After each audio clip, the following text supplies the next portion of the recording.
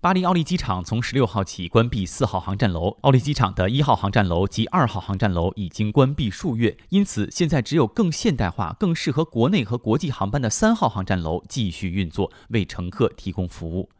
新冠疫情导致旅行限制，使得世界各地空中交通流量都严重下降。二零二零年四月一号起，巴黎奥利机场曾完全关闭，直至六月二十六号才重新开放。但部分航站楼于十一月再次关闭。本月起，法国政府禁止一切与欧洲外部国家和地区的非必要旅行，只有出于家庭、职业、教育、健康方面的紧急原因才可豁免。这使得国际空中交通再遭沉重打击。过去几天，奥利机场的乘客和航班数量都大幅下降。例如，摩洛哥皇家航空公司在该机场运营的航班从每日十二趟减少到两趟；阿尔及利亚航空公司的每日两趟航班已被转移到巴黎戴高乐机场。二月十一号，巴黎戴高乐机场的四号航站楼项目被放弃，这也表明航空业仍然面临不确定的前景。而这些举措对于员工的影响巨大，包括分包商甚至边境警察都会受到波及。大批工作人员被要求纳入非全时失业计划。二零二零年四月，巴黎奥利机场完全关闭时，二点五万名员工被迫停工。去年，奥利机场只接待了一千零八十万名乘客，比二零一九年下降了百分之六十六点一。